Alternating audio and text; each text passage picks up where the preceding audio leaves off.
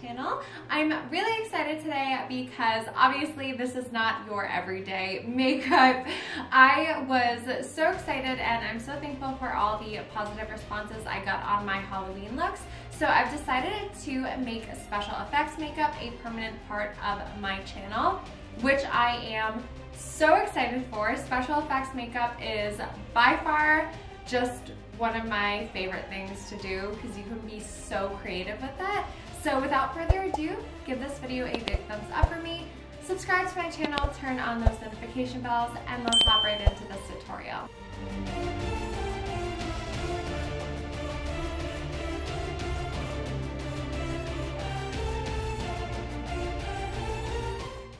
First thing I'm going to be doing guys is grabbing some spirit gum and applying my prosthetics.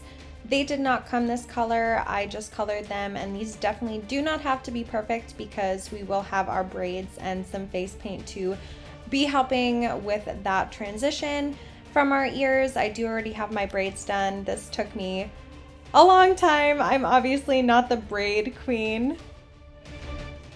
Using my Porefessionals primer, I've already prepped my face, guys, and now I'm just going to be creating my base. I am using my Mehron face paints, and I'm using different sponges for each color and a different sponge to blend. You want to take your time with this because this base is going to be including your highlight, contour, just everything basically that you're going to be doing for the coloring of your face. I did use the same technique in my black and white Halloween video that I will link up above if you guys are interested in seeing that.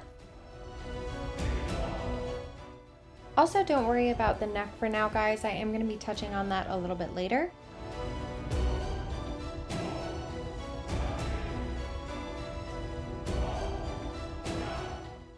When you are satisfied, you can gently set your face. I'm using my Anastasia translucent powder.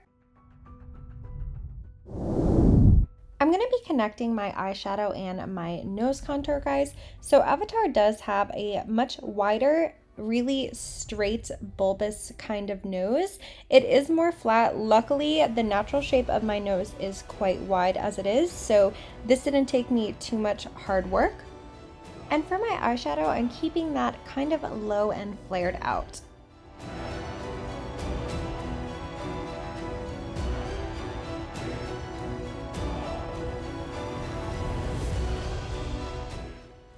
For the really cute pink part of my nose, guys, I did use a liquid lipstick, Bonnie by Huda Beauty, but it ended up being a little bit too red for me, so I decided to put an extremely light eyeshadow over it. I used the pink shade from my James Charles palette. Just going onto my lid with a light blue shadow from my Blue Bloods palette.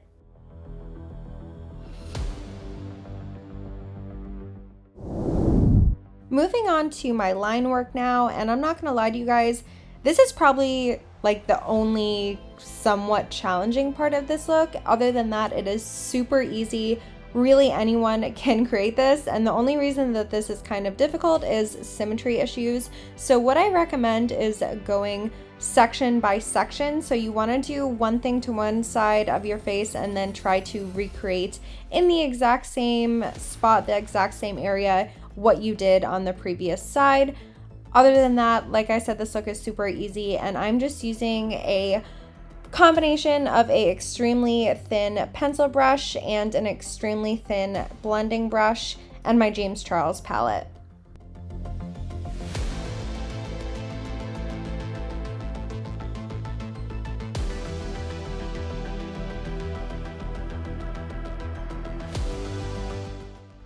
Moving on to my white dots, guys, I am just using an eyeliner brush and my Suva Hydra Liner.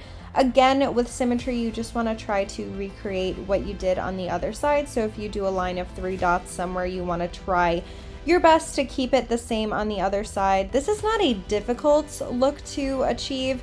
It's just very tedious and it takes a lot of patience.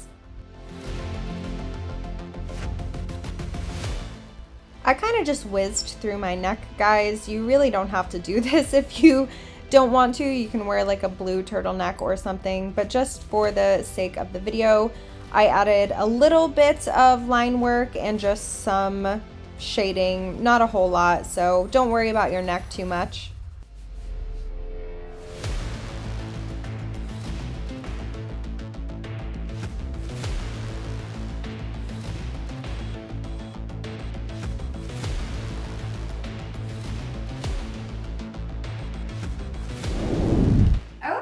Guys, so this is it. This is the finished look. I threw some feathers in my hair. I threw some contacts, some lashes, mascara. I'm not gonna lie, the longest part of this look was definitely my hair. It took me like hours to do this.